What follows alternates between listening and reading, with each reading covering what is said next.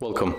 If you want to turn off or just turn on the autocorrection in your Huawei Mate 10 Lite, for the first you have to go for the settings.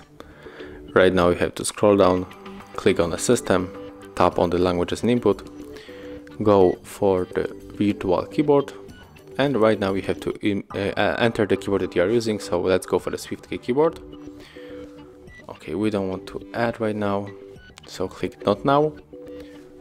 Uh, change for the SwiftKey keyboard if you selected any other. And right now you have to go for the typing and enter typing and the autocorrect. As you can see here we got the autocorrection options there's the preview what this option do. And if you want to turn it off tap on the switcher and if you want to activate just click it one more time. Thank you guys for watching leave thumbs ups comments and subscribe to our channel